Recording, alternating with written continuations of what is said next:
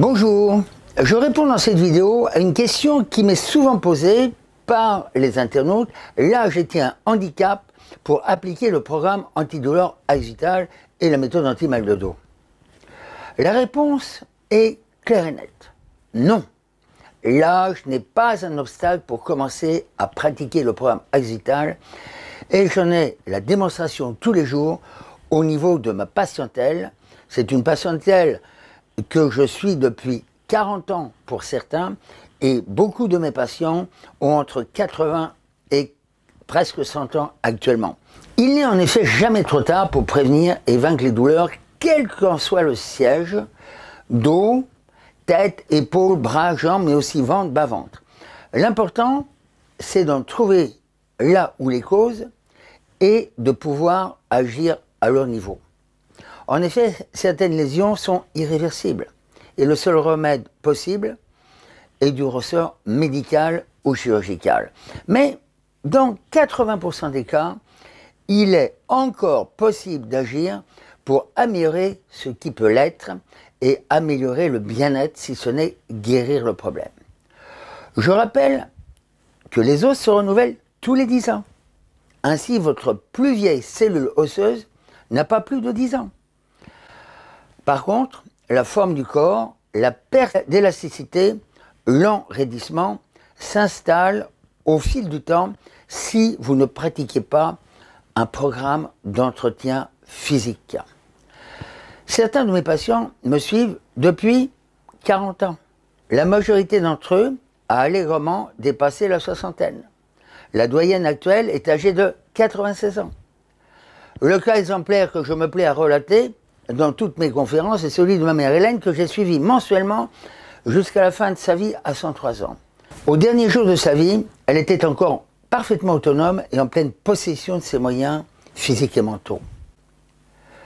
Depuis l'âge de 60 ans, âge auquel j'ai mis en place son programme pour soigner un mal de dos et de genoux chroniques survenu suite à un accident survenu euh, vers 50 ans, son exemple d'entretien physique comprenait des exercices de stretching vertébro-postural, d'équilibre sur un pied et de musculation des jambes.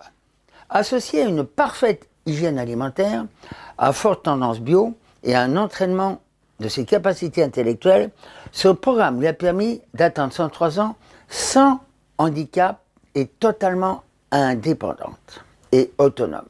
En suivant vous-même le programme Agital, non seulement vous agirez sur votre état de santé actuel, vous réduirez l'intensité ou la fréquence de vos douleurs si vous en avez, mais surtout, vous vous construirez une santé durable qui vous permettra de vieillir dans les meilleures conditions, c'est-à-dire de vieillir avec un minimum de maladies et en gardant un maximum de vos capacités physiques.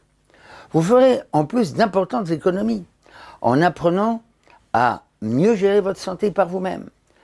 Vous saurez aussi quand faire appel aux praticiens dans les cas, par exemple, d'un blocage articulaire accidentel, suite à un faux mouvement, à un effort, à un coup de froid, vous saurez aussi qu'il faut pratiquer des révisions périodiques, que je conseille, en fonction des âges, de pratiquer une à deux fois par an. Hein, ce qui permet de dépister les problèmes au tout début et de les réparer avant qu'il y ait des lésions irréversibles. Hein, c'est toujours cette, cette euh, méthode préventive qui doit devenir prioritaire.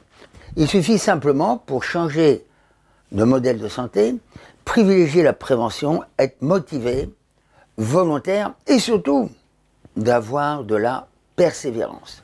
Car il faut faire des exercices tous les jours.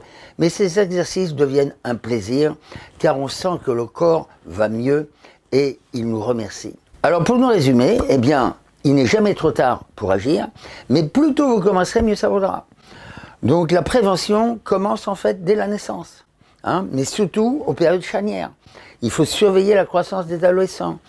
Lorsque vous êtes au travail en pleine activité, dès que vous avez un petit problème, il faut tout de suite agir et ne pas prendre des médicaments qui masquent le mal, mais traiter les causes du mal.